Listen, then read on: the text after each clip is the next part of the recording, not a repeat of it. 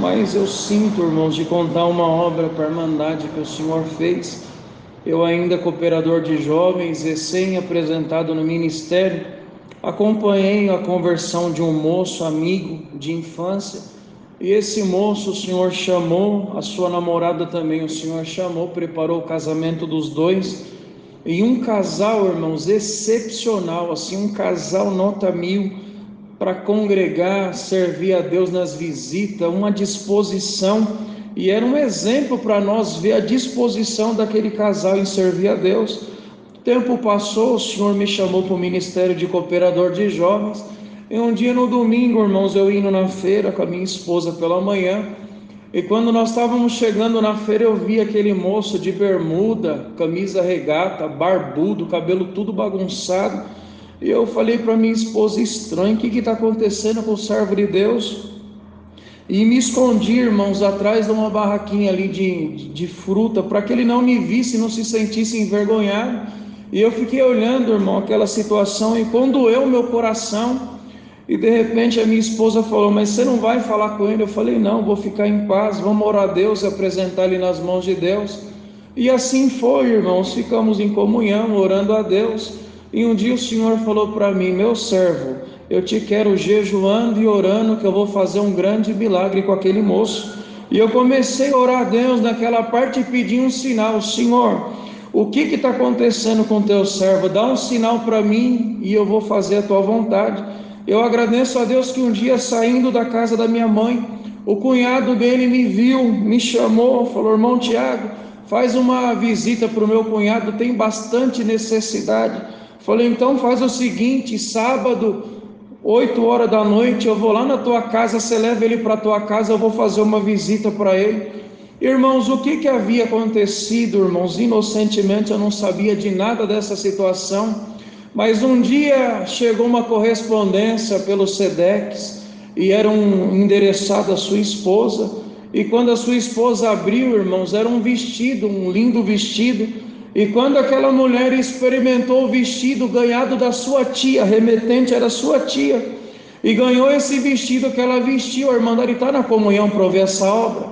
Uma casta de demônio tomou conta daquela mulher, e a situação foi muito difícil. Ela tentava cortar os seus punhos, tentava se jogar da janela do apartamento, e virou uma coisa muito difícil ao ponto, irmãos, de não ter mais condição de cuidar dela dentro de casa.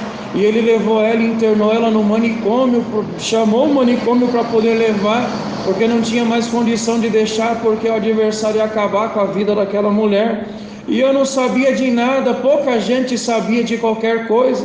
E irmãos, quando você vai visitar alguém que está fraco na fé, qual que é o conselho que se dá? Fica firme Busca a palavra, não deixa de congregar. Deus vai chegar, Deus vai aparecer, Deus vai fazer uma obra.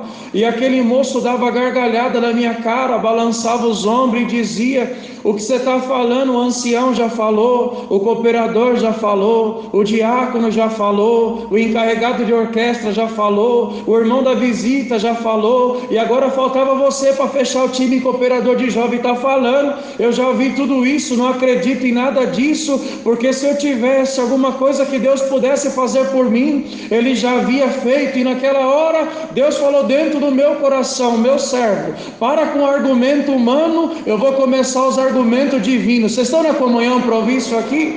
E de repente nós oferecemos uma oração para aquele moço. Ele falou: Tá bom, quer orar? Ora. Quer orar onde? Aqui na cozinha? Quer orar na sala? No quarto você quer orar? Eu falei: Aonde você se sentia à vontade? Ele falou: Então vamos para a sala. Dobramos o joelho nós três na comunhão. E de repente, irmãos, um frio muito grande entrou dentro daquela casa.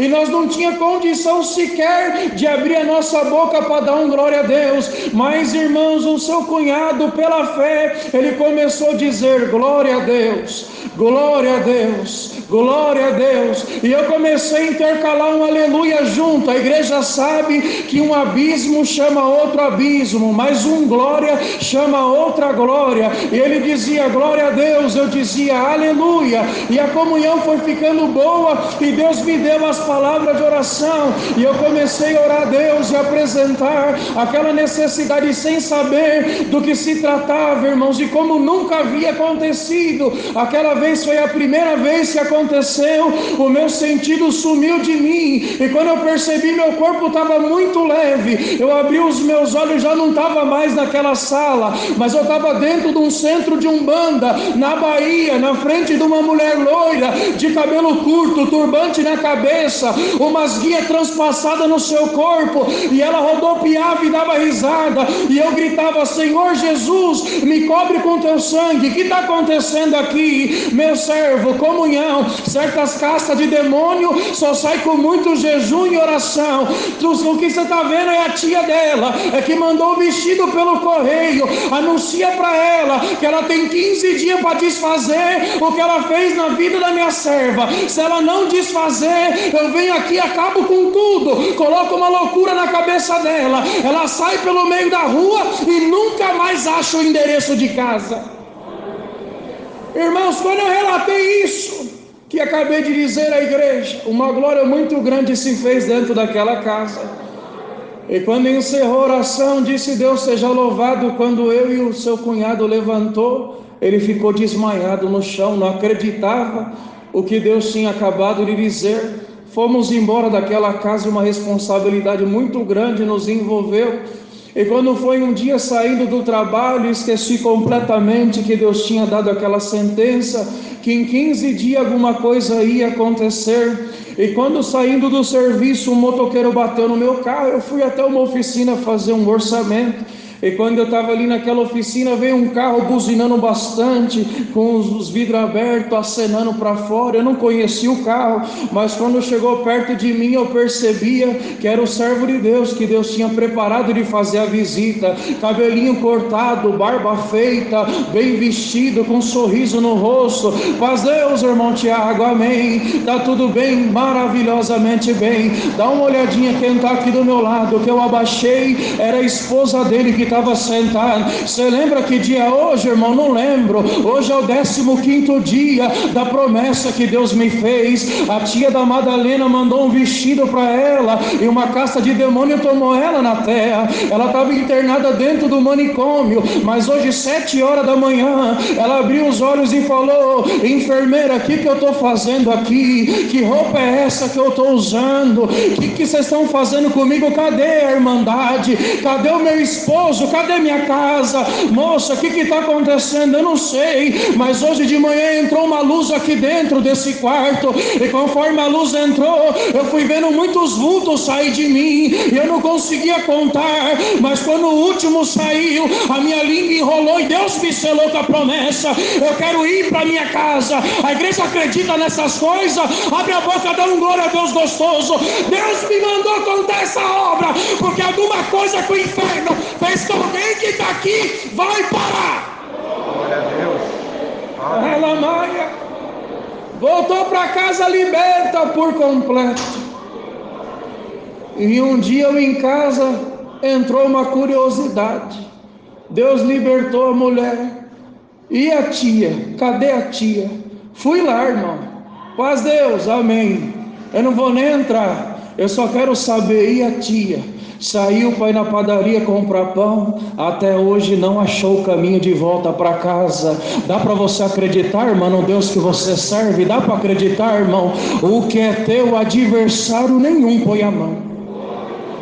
Muitas obras, irmãos, o Senhor tem feito na nossa vida, o relógio não espera. É tão gostoso contar a obra, né? Sinto uma comunhão tão grande nessa igreja. Posso contar mais uma, Lê? Depois nós dá um jeitinho, você puxa minha orelha. Tá bom? Mão bacana, dá um gancho em nós. Glória a Deus. Agradeço a Deus. Fomos convidados por uma necessidade na cidade chamada Freitas, uma cidade onde tem uma ponte que atravessa a Irmandade que fica lá no cantinho de Freitas para poder ter ligação com a cidade. E devido à chuva, essa ponte caiu e a Irmandade estava ilhada do lado de lá, com fome, sem nada para comer. E quando essa notícia chegou, boa parte da Irmandade percebeu nas conversas dos WhatsApp da vida essa necessidade. E um grupo de irmãos sentiram de fazer um ajuntamento para ver o que Deus preparava. Certo é que em sete dias Deus preparou um caminhão de cesta básica, preparou uma van de roupa, uma fiorinho cheia de doce para criança, e estava aproximando o dia 12 de outubro, que é o dia das crianças, e ficou marcado que naquele dia nós iríamos para aquela cidade. Porém, eu não iria, irmãos, para aquela viagem, eu tinha compromisso. Ajudei o servo de Deus em tudo, mas não ia para a viagem. Mas quando chegou minutos antes daquela viagem acontecer, uma alegria muito grande tomou meu coração e a minha esposa falou: Vai servir a Deus, deixa que eu me viro com o que nós temos que fazer aqui. E eu fui, irmãos, para aquela viagem, cheguei em cima da hora de madrugada, os carros já estavam tudo completo, e quando eu entrei no carro para poder partir com os irmãos, veio um carro, irmãos, e atravessou na frente do caminhão. De madrugada achamos, vamos ser assaltados, mas de repente desceu uma serva de Deus toda descabelada com um saco preto na mão. Oh, irmãos, que bom que eu achei vocês aqui. Leve esse saco para viagem, irmão. Por certo, Deus vai fazer uma obra. Nós abrimos o caminhão, encaixamos aquele saco por, por pelo fim daquela carga. Não abrimos e não sabíamos o que tinha ali dentro. Seguimos viagem. E quando íamos no caminho, passando pela cidade por nome de Cristina, um irmão passou por aquele comboio, irmão Tiago, para aí, eu quero falar com você. E eu parei o carro, irmãos, e quando ele veio, ele falou: Irmão, eu vi um nome escrito na placa do teu carro. Eu falei: Tem certeza, irmão? Ele falou: Tenho. Estava escrito um nome, Irmã Angélica, e tinha um prefixo 035 e o um número de um celular 97. Foi falando, não lembro mais o número, e foi falando. Eu falei: Irmão, peraí, se for Deus, nós já vamos ver o um milagre agora. Peguei o celular, fala o número. Ele falou: Eu disquei, mostrei o número no visor para ele. Falei: Vou ligar. E quem atendeu, vai ser uma mulher. Eu vou perguntar qual que é o nome dela, ela vai responder que é Angélica. E se ela disser que é Angélica, eu vou saudar ela com a paz de Deus. E se ela responder amém, nós vamos mandar a miséria embora da casa dela e o nome de Deus vai ser glorificado. Diz que o número, uma mulher atendeu. Alô, quem fala? É a Angélica. Paz Deus, irmã Angélica. Amém. Deus já tomou aqueles homens no meio da rodovia e Deus tomava a irmã Angélica dentro de casa também. Irmã Angélica, você acredita em visão e revelação? Acredito. Nós somos de Guarulhos e estamos em missão da obra de Deus. E Deus mandou nós entrar dentro da tua casa. Onde a irmã mora? Eu moro na cidade de Cristina. Aonde os irmãos estão? Nós estamos em Cristina, em frente a um poço de gasolina. Então vem dois quilômetros em linha reta que os irmãos vão entrar dentro da minha casa. Seguimos. Quando nós estava saindo, o irmão falou: Peraí, irmão, tem mais uma parte. Deus falou para mim que quando nós parar na porta vai vir duas moças gêmeas atender nós. Eu falei, não, irmão, peraí. Aí já é tentar Deus, colocar o nome na placa, tá bom. Ele falou: Não, irmão, Deus não brinque serviço. Nós vamos chegar lá, as moças gêmeas vai vir atender nós. E assim foi, irmãos. Paramos o caminhão na porta e naquela uma casa que tinha um barranco na frente, lá no fundo uma sacada. E quando nós buzinamos, as duas gêmeas apareceu na sacada. Peraí, irmão, eu já estou descendo para abrir o portão. Nós já entramos para dentro daquela casa calibrado com a virtude de Deus. E quando nós entramos ali, irmão, fizemos o que Deus mandou. E tinha umas panelinhas em cima do fogão e nada para cozinhar. A igreja acredita na revelação de Deus. Descemos aquelas cestas que Deus mandou, oramos a Deus, Deus visitou muito aquela casa. E o que Deus fez lá dentro não dá para contar detalhado, mas eu agradeço a Deus, irmãos, que depois de todo esse alarido, eu olhava nas gêmeas e uma das gêmeas sorria muito e a outra gêmea ela estava totalmente feliz, um sorriso maravilhoso, e a outra chorava copiosamente. Eu agradeço a Deus que eu reparei, irmãos, que tinha duas máquinas de costura, tinha muito tecido pela parede, encostado assim, empilhado, e não tinha um fiapinho de linha no chão, e me chamou a atenção aquilo. Falei, vou perguntar, tá na chuva para se molhar, irmã. A irmã costura ou a irmã não costura? Porque se a irmã costurar, a irmã é a melhor costureira da face da terra. Nunca vi um ateliê de costura sem um fiozinho de linha. Ela falou, ô irmão, é, tá vendo esse pano aí? Eu falei, eu tô vendo, irmã. Esse pano foi um milagre que Deus fez. Ganhei a licitação da prefeitura e era para eu costurar todo o uniforme da rede municipal. Mas tem um problema, irmão, tá vencendo o prazo e eu não tenho linha para poder costurar e não tem condição condição também para comprar, e nem por aqui também vende a linha que eu preciso. Então eu estou esperando Deus aparecer, porque se eu perder o prazo, eu perco a licitação e não sei mais o que eu vou fazer da minha vida. Alguém disse, irmão, e o saco preto? Não sei. O que, que tinha lá dentro? Ninguém olhou. Dá uma olhadinha no saco.